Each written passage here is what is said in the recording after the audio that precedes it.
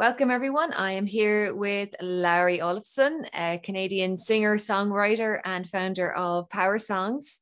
Lowry is a summit speaker at this year's Voice and Song Summit, which we titled Find Your Voice, Change Your Life. And it's happening on the 1st of April. So thank you, Lowry, for joining me today. Hey, great to be here, Aideen, in second year for this summit. Fantastic. It's so exciting. And I keep doing things a little bit better than I did last year um, and updating things. And I'm kind of impressed that I'm able to do this at all, to be honest.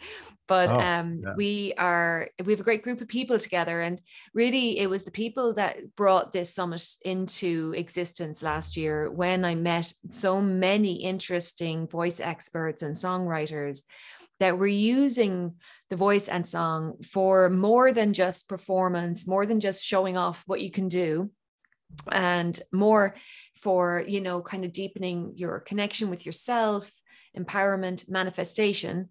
And you are particularly interesting because you specialize in songwriting for manifestation and intention setting. Tell us a little bit about what you do, Lowry.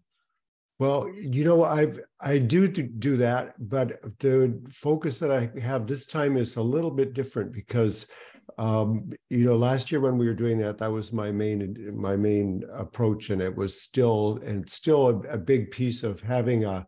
I, I create song brands for uh, thought leaders and for entrepreneurs and businesses, and it's a way for them to really get clear about what it is that they offer and kind of step into that so so that they they broadcast that with their to people and they reach their their hearts and their minds.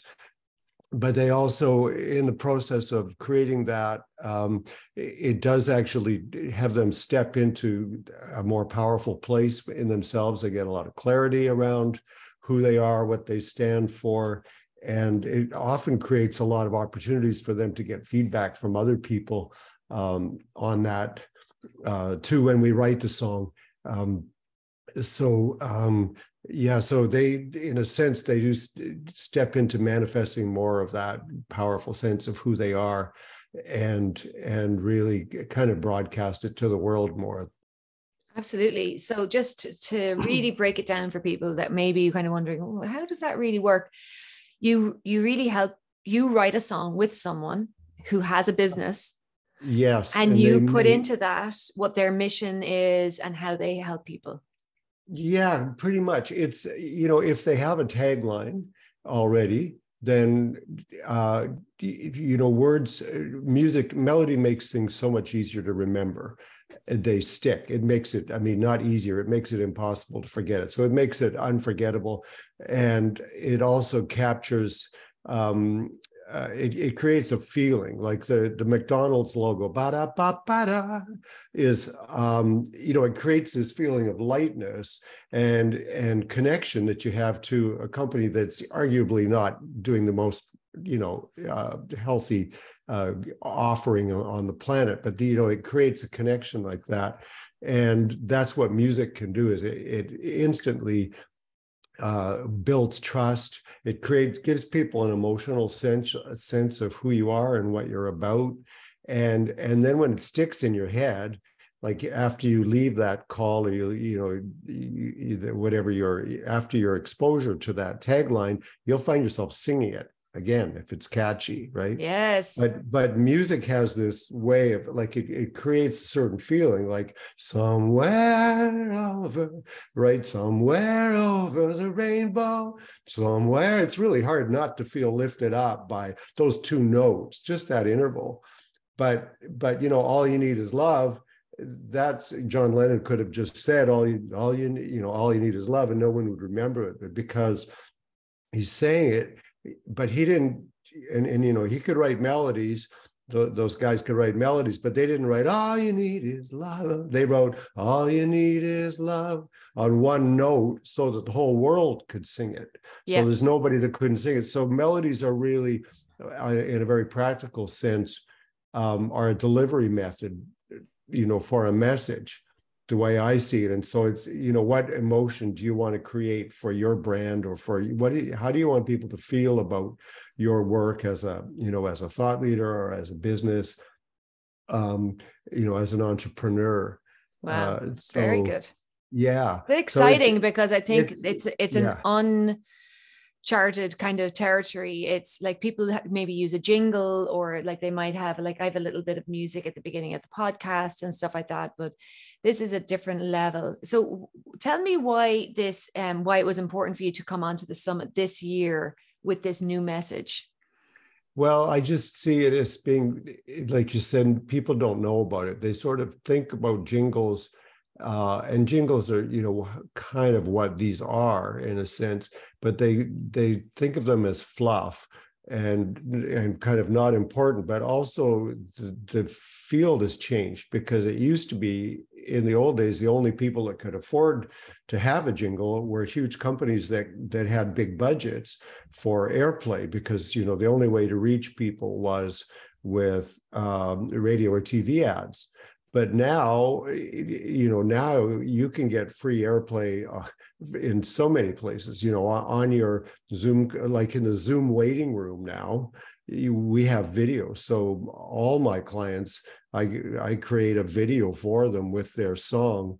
And um so they you know it, it's a there's a lot of different ways that you can um that that you can reach people with your song. They can hear it on your on your uh, answering machine. They can hear um, any number of videos, all kinds of places like that. So it really is something that people, and for sure, speakers when they walk on stage.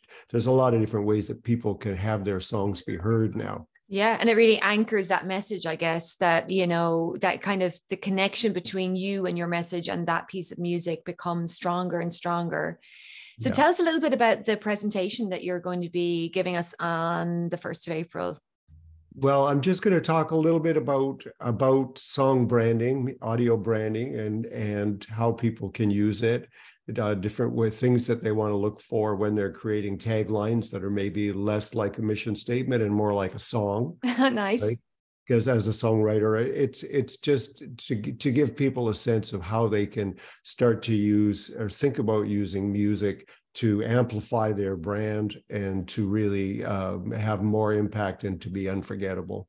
That's beautiful. And i you are offering a vip gift. So people who um, upgrade to the vip version of the the summit where they get the full recordings are also going to get a gift from you. Can you tell us a little bit about that yeah, it's a, an audio brand audit. So I'll go through people's, uh, you know, whatever their assets are and see where they're using music now, because most people use music somewhere, but they miss the, the opportunity to use it in a much more powerful way. So they'll use it to kind of like create a feeling or pump up the energy and of something. But what they don't do is they don't create uh, an instant recognition for who they are they don't necessarily um, make their message. They, they don't incorporate their tagline into that. They just miss a lot of opportunities to have way more impact. Wow. And then to be consistent over 10 years or 20 years, right?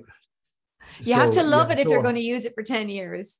Yeah, yeah. So, so it, the the older like McDonald's has been using that that theme for 20 years now. So it cost them six million dollars for that in the beginning. You know, they had Justin Timberlake in a big deal doing that, but now amortized over 20 years, that's only 300,000 a year, and all it's done is grown in value. So you know, people like us can do that too. Ah, yes, we can. And um, yeah. I'm thinking I probably need an audio audit as well, considering that I've used different music at different times and the consistency is probably not there.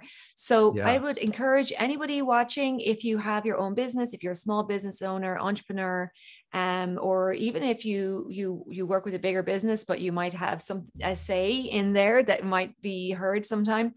Um, yeah. CEOs maybe, um, big uh, directors, come along to our summit and um, learn more from Lowry. Get your VIP gift, get your audit done, and we hope to see you all there we have um, so much on offer for this year's summit. And I'm absolutely so honored and delighted, Lowry, that you're joining us again, because I think yours is such a unique and special offering. And um, the more of us that use it, the better our message and mission can get out there. Thanks, Aideen. I'm so pleased to be part of it again this year. It was fantastic last year. You do such a great job with this. Thank you for for inviting me. You're welcome. Thank you so much. Okay. See you then.